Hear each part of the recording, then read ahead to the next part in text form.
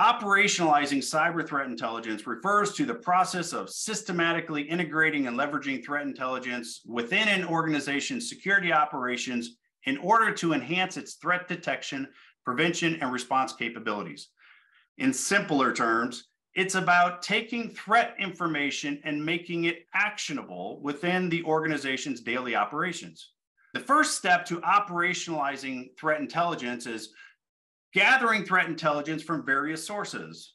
This could include open source intelligence, uh, OSINT, commercial threat feeds like Mandiant Advantage or CrowdStrike's Falcon X or Proofpoint's Emerging Threats Pro, internal incident data from past incidents, other information from industry groups or partnerships, and choosing the right source is one of the most important steps.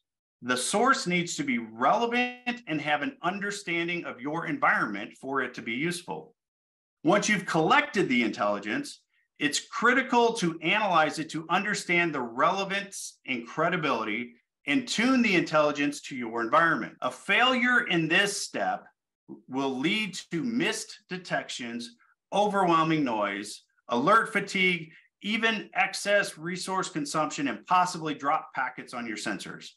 And if you don't see the traffic, how can you identify the threats? However, tuning is not just about the evidence itself. It also includes the configuration of the security tools and the systems it will be integrated with. Creating ignore lists is also important when tuning traffic. Vulnerability scanners and other allowed administrative traffic can generate a lot of unnecessary true positive alerts that consume analyst time to investigate. Zeek packages are another form of behavioral IOC detection. Knowing which package to enable or disable can make the difference in the performance of a network sensor. Tuning also includes the relevant IOCs and eliminating redundant ones. Loading MD5, SHA-1, and SHA-256 hashes for the same file is redundant and takes up resources that could be used for more important detections. For example, selecting all of the hashes from CrowdStrike's Falcon X intelligence database that have been seen in the last 30 days would provide over 10 million of each type of hash. Bottom line, too many alerts is the same as no alerts. Integrating the relevant threat intelligence into the organization's security tool and processes is the next step. Selecting which intelligence goes where is very important. While sensors are in the best position to provide real-time detections, they are often limited in resources and cannot handle millions of indicators. On the other hand, SIEMs can generally handle much larger Intel databases. Because of this, only high priority indicators and indicators that require live traffic should be loaded on sensors while the rest of the indicators can be loaded on the SIEM.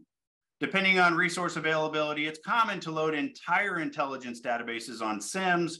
However, that provides little additional value if it's also on the sensor. Sharing the threat intelligence with relevant stakeholders is the next step.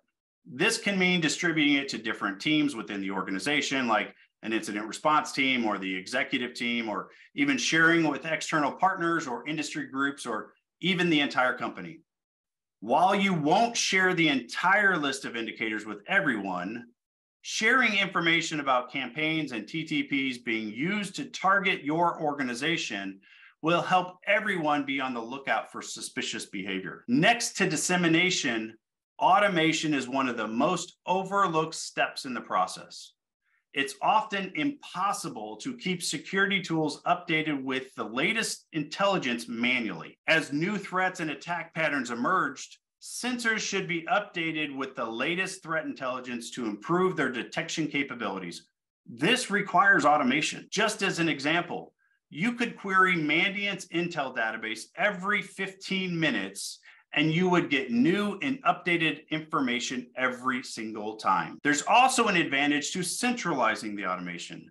When you have multiple tools that depend on the same information, centralizing the automation ensures that all of those tools are working from the same sources, even if they don't get the same rule sets. And after all this action is taken, it's essential to monitor the results and gather feedback and This feedback can then be used to refine the threat intelligence process, tune out noisy alerts, ensure focus is updated as the threats adapt, and overall ensure the organizations are continuously maturing its security posture. By operationalizing cyber threat intelligence, organizations can proactively defend against cyber threats rather than just reacting to them when they actually happen. The goal is to provide actionable insights that can lead to improved security decision making and more effective response to cyber threats.